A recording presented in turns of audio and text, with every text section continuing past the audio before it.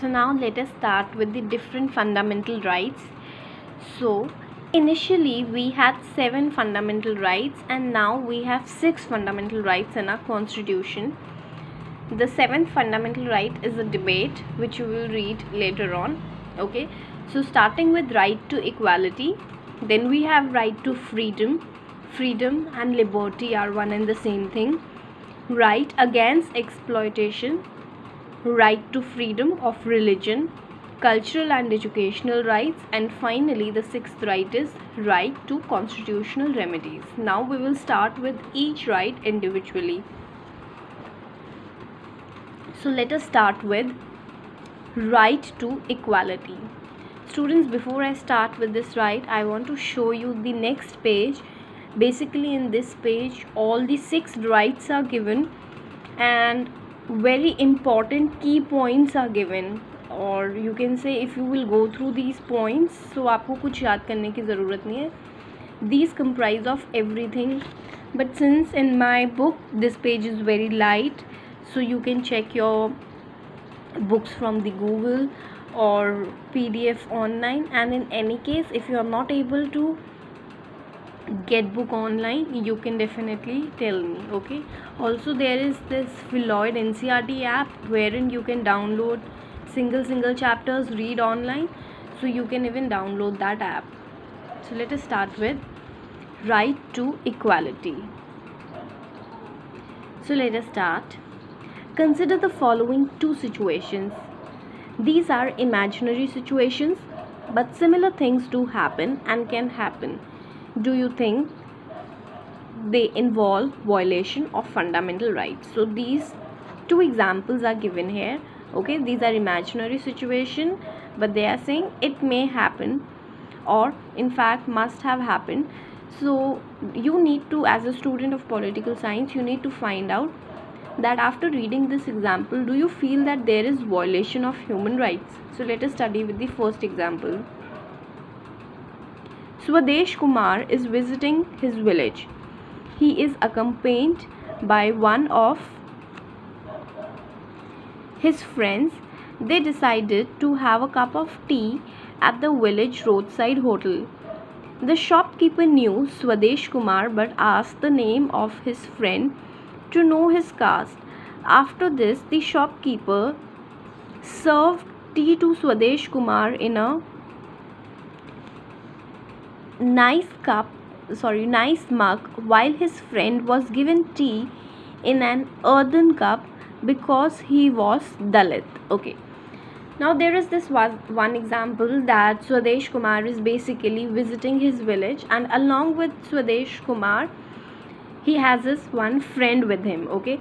So since they want to have a cup of tea so they stand up near the roadside to have a cup of tea or okay a hotel near this roadside.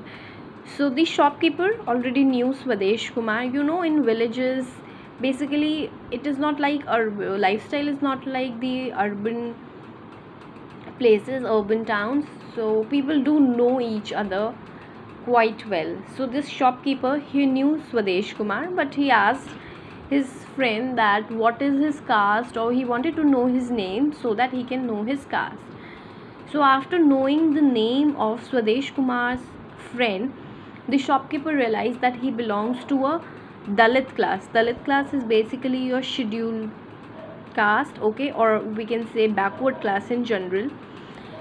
So he do a different kind of thing. To Swadesh Kumar, he give a nice mug, but to his friend, he gave a earthen pot. What is earthen pot? Basic earthen cup basically मिट्टी का जो cup होता है okay okay, मिट्टी का बना हुआ cup सो so वो उसे सर्व उसमें सर्व करते हैं। Now you decide is there a violation of fundamental rights yes definitely there is a violation of fundamental rights because just on the basis of some name okay just on the basis of some caste you are serving a lower caste person in a earthen cup okay which is literally destroyed और which is demeaning ये बुरा है किसी को किसी को नीचे दिखाना जैसा सिचुएशन है कि आप नीचे कास्ट से बिलोंग करते हो तो आप इस कप में डिज़र्व करते हो। एंड इफ़ आप सी होता क्या है अर्दन कप्स यूजुअली उसको धोना नहीं पड़ता राइट बार बार आपने अर्बन कप में पिया, आप उसे डिस्कार्ड कर सकते हो, आप उस कप को डिस्पोज कर सकते हो। But if it is for example a steel cup it can be washed और यूटिलाइज अगेन सो क्या थाट प्रोसेस है? That sense you are a low caste और अगर कोई और उस कास्ट से, उसी अर्दन पॉट से टी को कंज्यूम करेगा तो हमारी वो पॉल्यूट हो जाएगा, या उसका रिलीजन ख़राब हो जाएगा हार्म हो जाएगा something like that so definitely this is not our constitution guarantee us right to freedom और you can say right to equality I would say more right of equality here in this part so right of equality right to equality breach ho raha hai yahan par let us discuss the second example an order is served to four newspapers of a television channel that they would not uh, that they would no longer read the news on screen they are all women. The reason given is that they are above the age of 45. The two male newspapers sorry what is this? Yes two male newspaper readers above the age are not are not banned uh, banned from the presenting the news. Okay. I'm facing a little difficulty while reading on the camera because the text is way too light but i guess in your pdf it will be much clear. So now we have an another example wherein four news channels okay jahan par news readers are women's okay. So उन्हें मना कर दिया जाता है कि आप news read नहीं करोगे। ऐसा एक ऑर्डर पास हो जाता है। But at the same time और रीज़न क्या दिया जाता है that these ladies are around forty four something but at the same time similar age के मैन अदर न्यूज़ चैनल पे या उसी न्यूज़ चैनल पे न्यूज़ पढ़ सकते हैं। उनको नहीं मना किया जाता। So what is this this is literally a kind of discrimination we can say on the basis of gender तो definitely here comes the concept of discrimination on gender okay यहाँ पे कास्ट डिस्क्रिमिनेशन हो रहा है और basically we can say equality नहीं मिल रही है. एंड यहाँ पर we can say we are discriminating to genders so right to equality that सब इक्वल है. तो आप कास्ट के बेसिस पे क्यों डिस्क्रिमिनेशन कर रहे हैं या जेंडर के बेसिस पे क्यों डिस्क्रिमिनेशन कर रहे हैं? जस्ट बिकॉज़ वुमेंस हैं तो आप उन्हें अलाउ नहीं कर रहे हैं कि वो न्यूज़ रीड करेंगे. एंड सिमिलर एज के मैन न्यूज़ रीड कर रहे हैं so we don't have a problem in that okay now, let us understand after reading these two examples that constitution of india, fundamental rights in part 3 में according to right to equality हमें क्या guarantee करता है? Equality before law that means everybody is equal before law even if Salman Khan is doing certain kind of crime, he has to go behind bar. Even if a normal person is doing a crime, he too has to go behind bars. Equal protection of laws. Okay, firstly everyone is equal in front of laws okay even if it is a rich guy or a poor person secondly equal protection of laws हर किसी को laws की equal protection मिलेगी। किसी का भी law किसी का भी यू नो वॉयलेशन होता है फंडामेंटल राइट्स का तो उन सबको इक्वली प्रोटेक्ट किया जाएगा। Prohibition of discrimination on grounds of religion race caste sex place of birth now according to right of equality किसी भी तरीके का डिस्क्रिमिनेशन नहीं किया जा सकता ओके okay? प्रोहिबिट करते हैं, उसे रोकता है राइट टू इक्वालिटी दैट आप डिस्क्रिमिनेट नहीं कर सकते दैट मीन्स भेदभाव नहीं कर सकते with in people on the basis of religion okay that आप मुस्लिम्स हो, हम हिंदूज़ हैं या हम पंजाब है तो आप ऐसा डिस्क्रिमिनेट नहीं कर सकते। आप छोटे लेवल के और हम बड़े लेवल के no my religion is best your is worst no we can not do that race okay so basically आप किसी को स्किन टोन उनकी आइज़ उनके हेयर बेस रेस क्या होते हैं? बेसिकली आपके physical characteristics okay so so, आप उस पर किसी को डिस्क्रिमिनेट नहीं कर सकते. For example if the people living in the eastern side okay जो सेवन सिस्टर्स वाला एरिया है सो so, वहाँ पे usually people have narrow eyes